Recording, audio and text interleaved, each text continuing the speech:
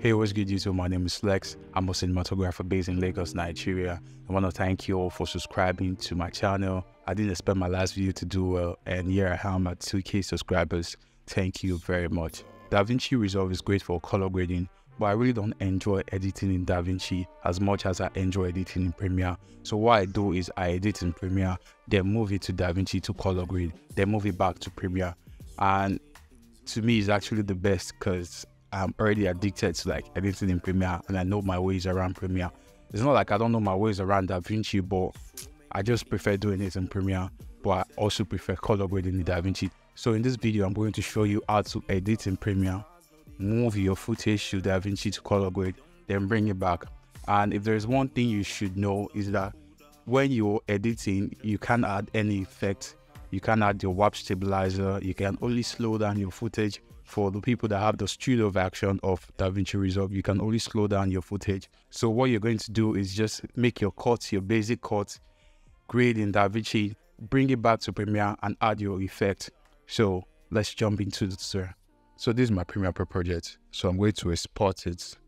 I'll go to my file, then export, export as Final Cut XML then just look for folder and save it in the folder. Let's say DaVinci to Premiere. So I'm going to save the file here. Just click save.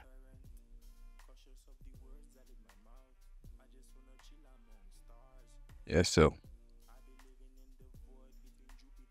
to close my Premiere Pro, then open my DaVinci Resolve.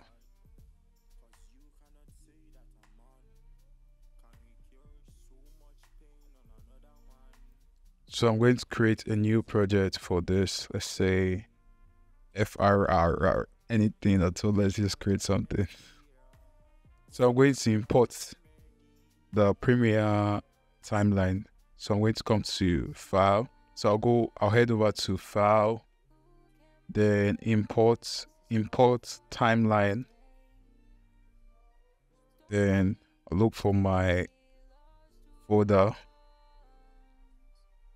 Then import our footage here open. Now we have the whole timeline here. We have our cloth intact so you can add what to like your color tab and just make your make your grade. For this footage yeah i actually like graded it before and yep so.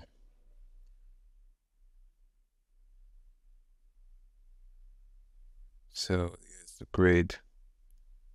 So after like finish grading i can just i can head over to my deliver tab then look for Premiere Pro XML, just tap, then browse. And I will head over to the location. Let's save it here, new folder, graded. And I'll save it inside this folder. Then add to render queue. Then I'll render all.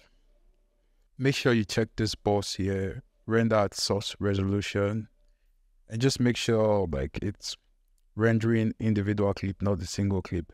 This single clip will merge your entire video to a single clip. Then the individual clips will actually like still keep your cuts intact. So add to render queue and render.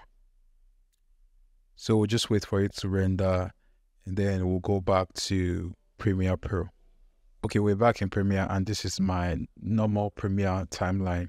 So I will just like press shift one, then create a new bin.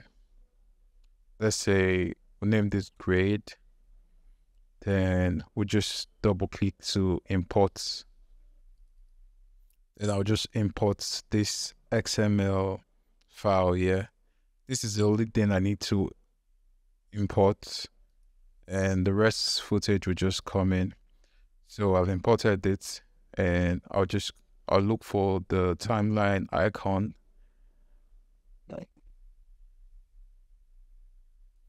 And here is the timeline icon. So we have our timeline here. And this is like the graded. There's this audio issue I always experienced after I import my footage from Resolve to Premiere.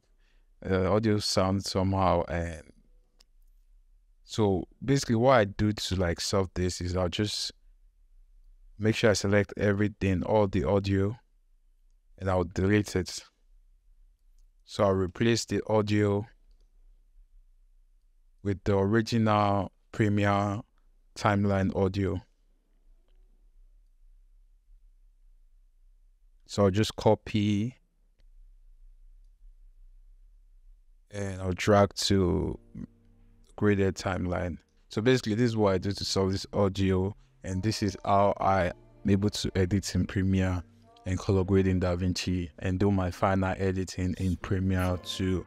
Um, it's actually a very simple workflow and I personally enjoy doing this. I love color grading in DaVinci, but I really don't like editing in DaVinci. I love, love, love color editing in Premiere Pro. So it's actually very, very simple. If you have any questions, you can ask me down and I'll try my best to respond to all the comments. And yeah, if you haven't subscribed, just subscribe. But if you don't want to subscribe, it's actually very fine. And yeah, Jesus loves you. Thank you. Gracias.